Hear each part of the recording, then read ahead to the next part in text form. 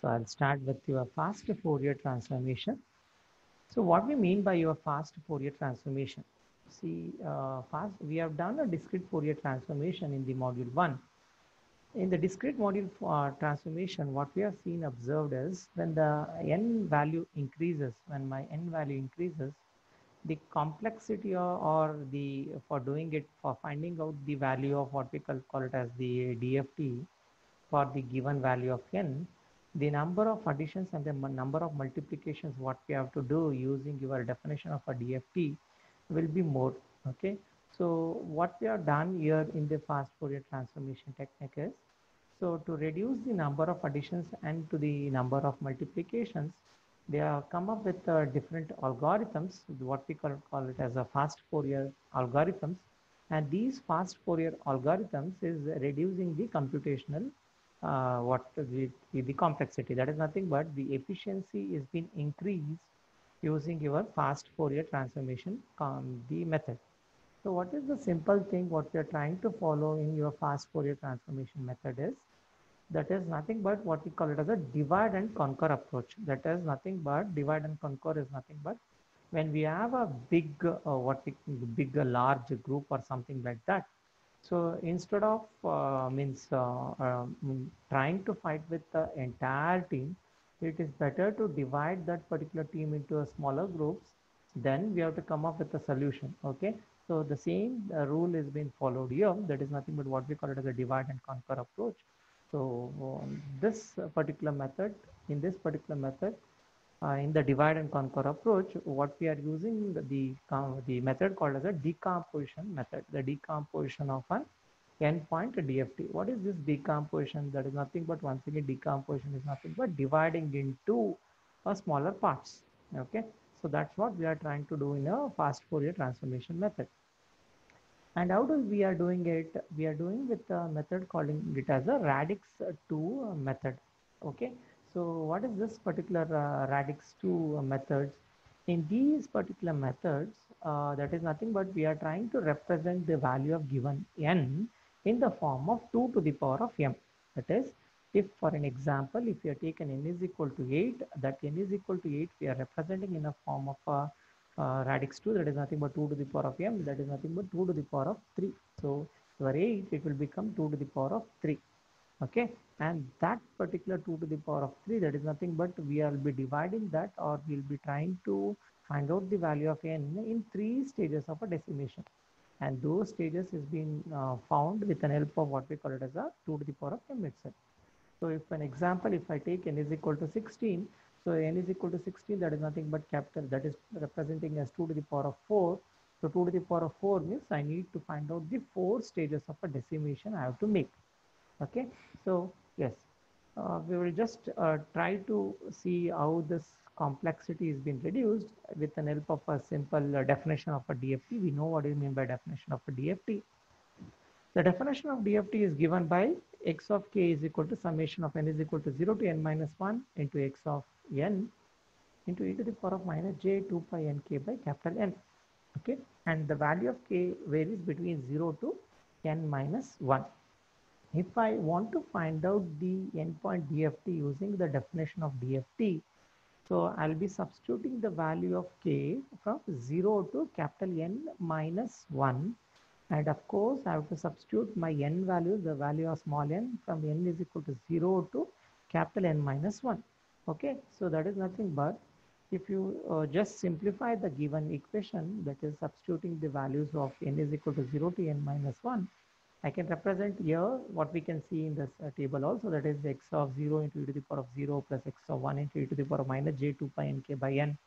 And it goes on continues up to what? X of n capital N minus 1 into e to the power of minus j into n minus 1 by n okay? In this if we see that the number of complex additions required here is the value of n is equal to that is the value of capital N is equal to 8 the number of complex additions required will be n minus 1 complex additions. That is minus 1 we can see here for uh, totally for totally if I just say for an example if n is equal to 4 if you take so it starts from what uh, that is capital N is equal to that is small n is equal to 0 to n minus 1 where n now I have taken an example of 4 so 4 minus 1 will be 3 so it is 0 to 3 so what I have to substitute in place of small n I have to substitute as what? X of 0 then x of 1 plus x of 2 plus x of 3 so totally the plus symbols additions what we get is only 3 okay?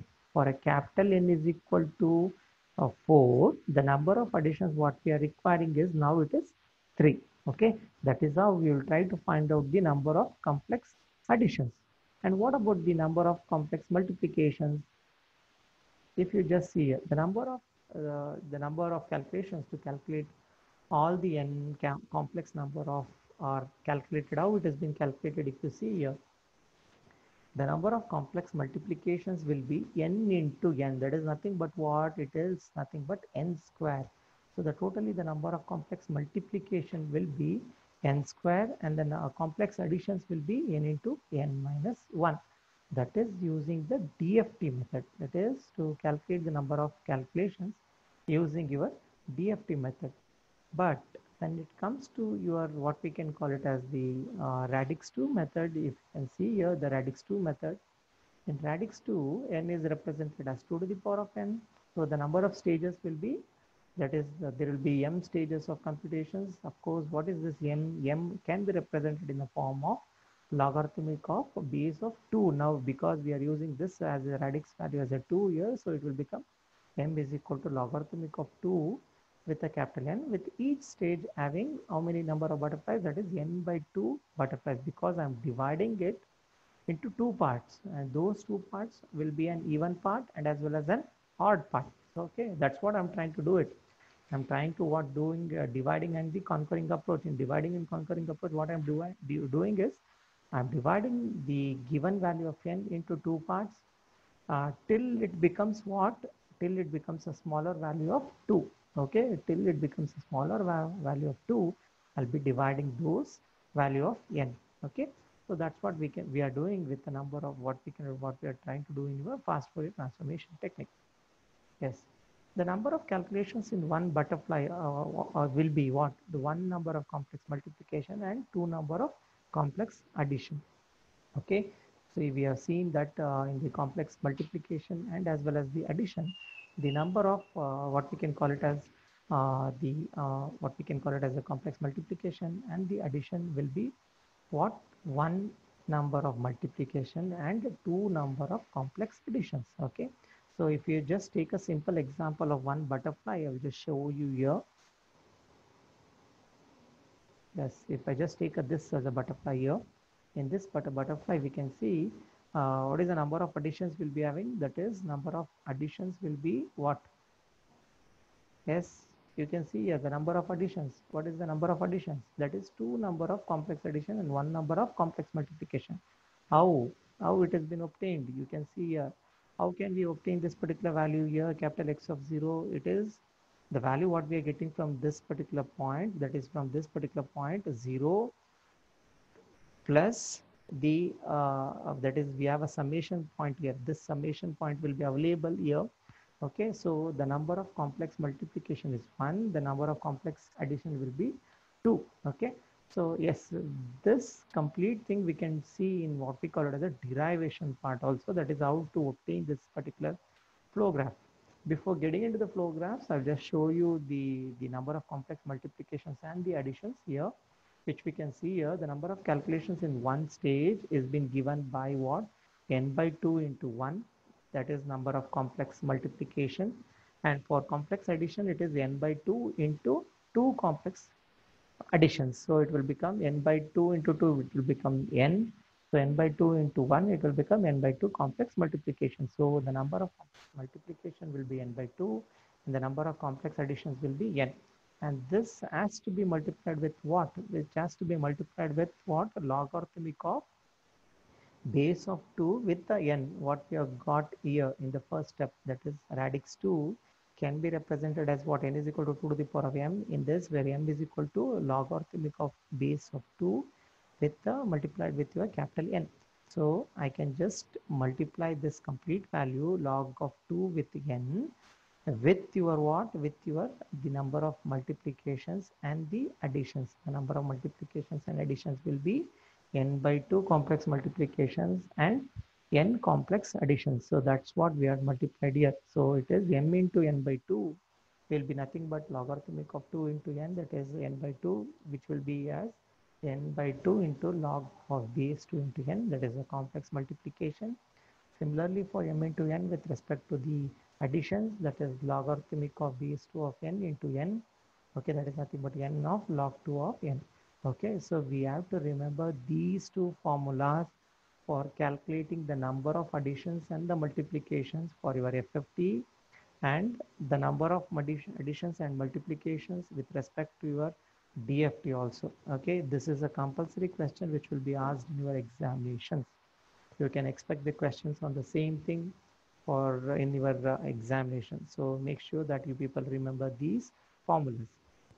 Okay, so this and uh, using these two formulas, I can just compare the number of computations what is required in your direct DFT and as well as your FFT. If you just see in your direct DFT, okay, for the, taking an example of n is equal to 4 here, with respect to number of, that is n is equal to 4, in with respect to the DFT, the number of additions will be n into capital N into n minus 1 that is 4 into 4 minus 1, that will be 12. And when n is equal to 4, n square, that is nothing but 16. The same thing can be calculated using your uh, what we can call it as a calculators for calculating uh, your n into logarithmic of base 2 of n. Substituting it, I will be getting as for n is equal to 4, you can see the number of additions what we are required is 8 and the number of multiplication required will be 4. Okay, so comparing with your direct computations in your radix 2 FFT, it is reduced. Of course, it is been reduced and how can we check that reduction, the that is nothing but the efficiency. The efficiency can be checked by taking the ratio of what this particular number. If I take an example of n is equal to 32, that is 992 divided by 160. So that will be the efficiency what we will be getting uh, with respect to the number of complex additions. And uh, for multiplications, that is 102524 divided by 80. So that will be the efficiency with respect to the multiplication. Okay. So we can expect a question. What is the efficiency factor with respect to n is equal to 64, n is equal to 120, something like that in your examination also. Okay. So, and how to, uh, with uh, you know how to do with uh, logarithmic of base 2 in your calculator if you don't have an idea, I've just given here that is log 2 of 2 to the power of n is being calculated with respect to n, which can be represented as what log or logarithmic of y into x. That is nothing but we can both the things I can keep it in the base 10 itself. That is log of base 10 of x divided by log of base 10 of uh, y. Uh, it is missing here. You can just write down in your books. It is logarithmic of base 10 of y. Okay. So the people coming into this uh, derivation part, uh, that is nothing but we are trying to obtain what we call it as the, uh, the it is called as an FFT of it. That is nothing but a radix 2 uh, decimation in time. Uh, decimation in time is nothing but DIT. We'll be calling it as decimation. Decimation is nothing but dividing into a smaller number. So radix 2 decimation in time is a DIT algorithm. What we are trying to do here with an example that is the value of n what we have taken is n is equal to 8 okay? With a value of n is equal to 8 it is nothing but in a radix 2 to represent the value of n is equal to 8 that is nothing but 2 to the power of 3 so number of stages will be three stages of a decimation okay? And in this particular decimation what i'm trying to do here is we are trying to divide the given value of n into even and the odd samples so if we are given an n value of n is equal to 8, starting from x of 0 to x of 7, I am dividing those samples into even samples separately and odd samples separately. If I take an example of even samples, my even samples will be x of 0, then my x of 2, then x of 4, then x of 6 will be my even samples. What will be my odd samples? My odd samples will be x of 1, x of 3, x of 5 and x of 7 okay so totally for n is equal to 8 i'm dividing my given samples into even separately and odd separately. For doing separating it i'm i'm calling it as uh, what? F1 of m and f2 of m. So if i represent my even samples here that is f1 of m is equal to x of 2m i'm representing my even samples as x of 2m my odd samples as x of 2m plus 1 okay? So x of uh, f1 of m that is even sample and f2 of m as odd sample. In my even sample that is x of 2m my odd sample is x of 2m plus 1 yes in my even sample of course i've divided my n n which was earlier it was 8 now i've divided into two parts so my m value here, it will be varying from 0 to 0, 1, n by 2 minus 1. That is nothing but n by 2 minus 1 is nothing but what? Capital N is equal to 8. 8 by 2, it will become 4. 4 minus 1, that is nothing but 3. So because earlier it was 8, now I have divided into two parts. So it will be varying from 0, 1, 2 and 3 itself. Okay. Similarly, my odd samples also, it will be varying from 0, 1, 2 and 3. Yes. So that is the first step what I'm trying to do here. And next thing is I have to consider the definition of a DFT. The definition of DFT is given by x of k is equal to summation of n is equal to 0 to n minus 1 into x of n uh, with the into a Twiddle factor that is Twiddle factor it can be represented as e to the power minus j pi 2 pi k n divided by capital N or else can be represented as also with uh, W of n that is W of n into k into n. Okay. Uh, of course, we know both the formulas. So consider with this the definition of a DFT. When I'm dividing this into an even and odd parts, I can represent it as what summation of that is n is equal to 0 to n minus 1 with the two parts calling it as even and odd. The first part will be even part, the second part will be odd part. That's what we are done here. That is x of n into w of n into k of n for even n is equal to even and the next one for n is equal to odd values. Yes. For dividing it, of course, here substituting from m is equal to 0 to n, n by 2 minus 1 into the even part. Even part has been called as what? x of 2m. My odd part has been called as x of 2m plus 1 okay so even part is x of 2m that is i've replaced my n value here my n value here for even it is 2m yes guys can you please mute yourself? The people those who are listening to music and all those people please mute yourself. Okay need not to disturb the remaining people. Thank you.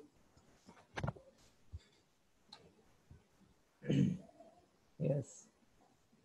N is equal to even that is x of n into w of n to the power of kn for even value and similarly for odd value in case of n it will be 2m plus 1 the both the things has been substituted here what is the next thing of course substituting the value of uh, n is equal to even and odd and the same thing can be represented here that is we can see here m is equal to 0 summation of uh, n by 2 minus 1 f1 of m in place of Twiddle factor this W of n to the power of 2 into Km can be written as what? W of n to the power of 2 into K of m.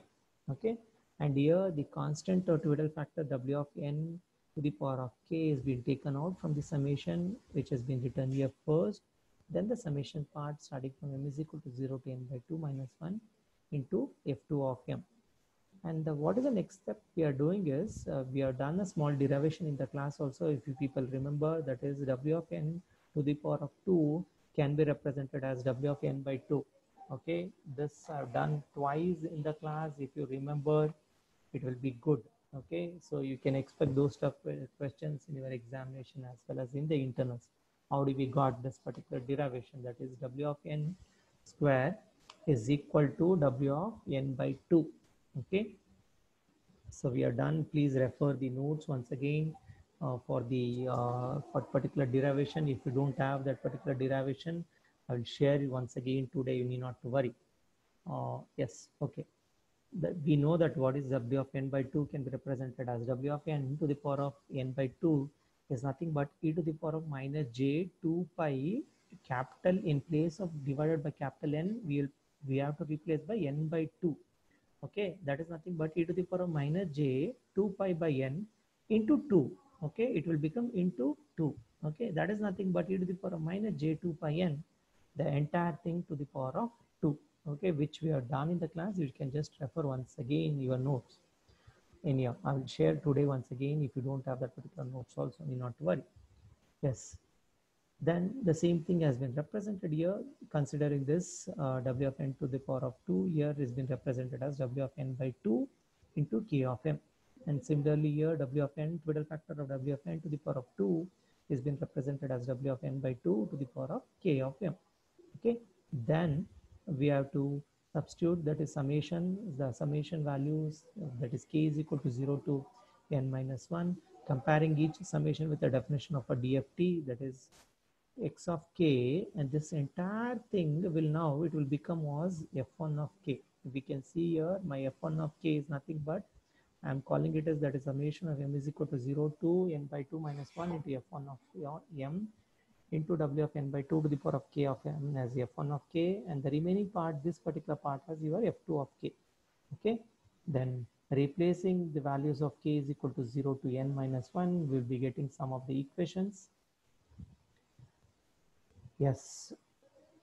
And uh, with those equations, I'll be getting this complete, what we can call it as a block diagram.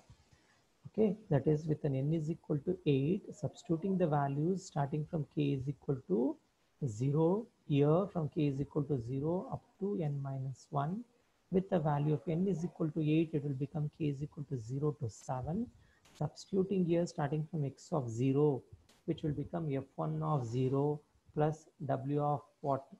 8 to the power of 0 into f2 of 0 okay similarly x of 1 which is equal to f1 of 1 plus w of 7 8 to the power of 1 into f2 of 1 so we'll be getting some 8 number of equations.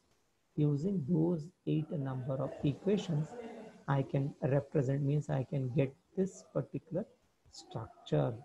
Okay i'll be getting this particular structure. The first stage of a decimation will be this part. Considering for even and as well as for the odd part i'll be getting this particular structure. Then what is the next stage i have to do? In the next stage once again we'll we'll be having these four stages. And these four stages i have to divide once again into an even and the odd part.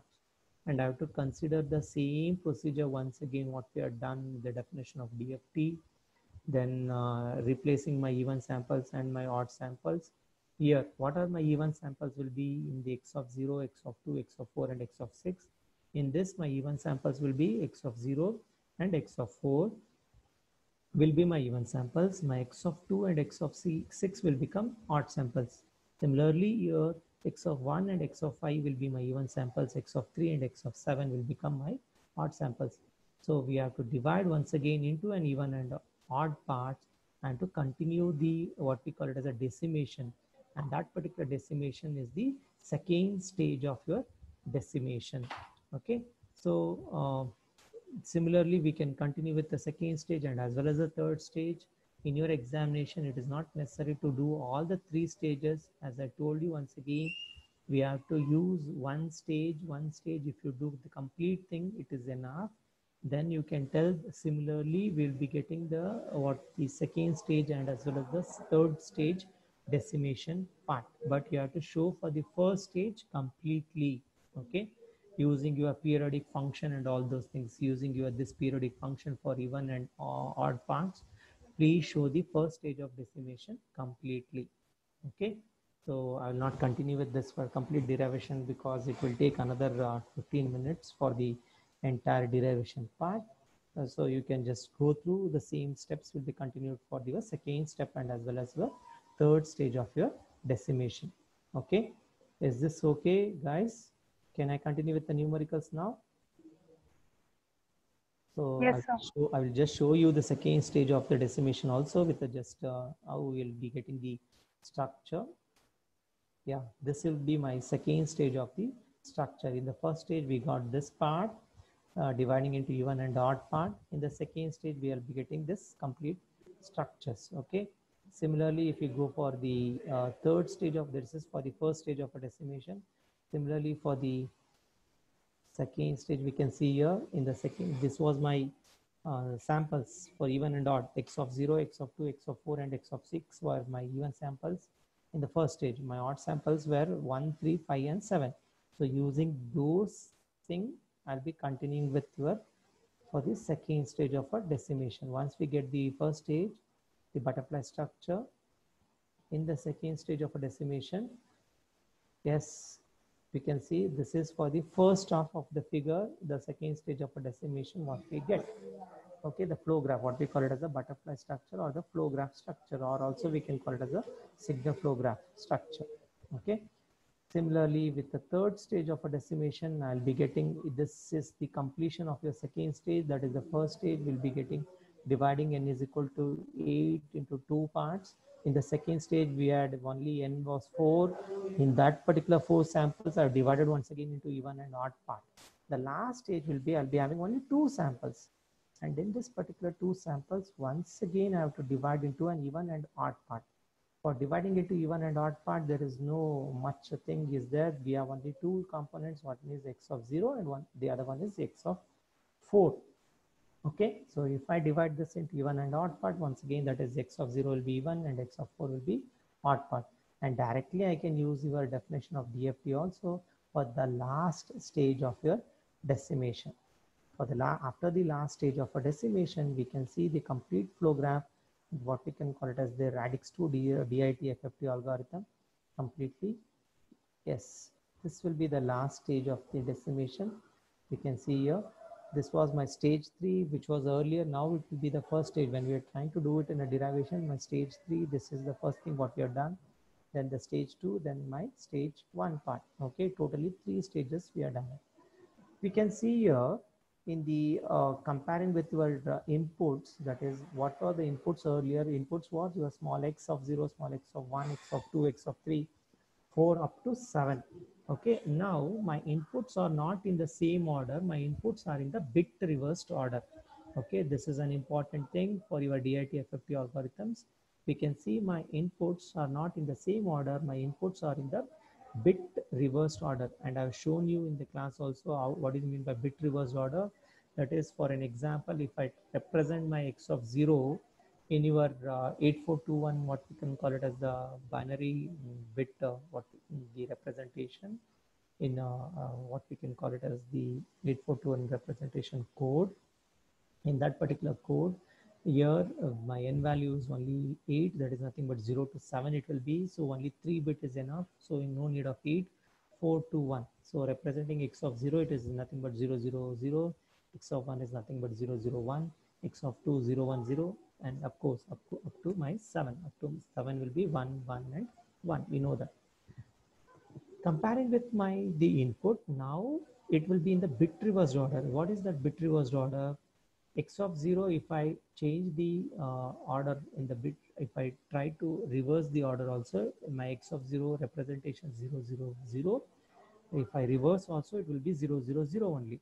The next thing is x of 0 it was 1 the second number will be 1 actually but what is the number we can see here it is 4 how do we got this 4 it is once again actually dividing into even and odd parts okay but of course it is now Looking into it, it is in the bit reversed order. That is, 1 can be represented when it is 0, 0, 1. If I reverse the order, it will become 1, 0, 0. 1, 0, 0 is nothing but 4. Okay, that's why that's how it is in bit reversed order. Okay, so you have to remember those things for the representation part of your flow graph. And writing down this particular representation graph it's four marks it will be for two marks in any of the question. If you write down this particular flow graph completely you'll be having two marks you'll be getting two complete marks. Okay? Yeah. Coming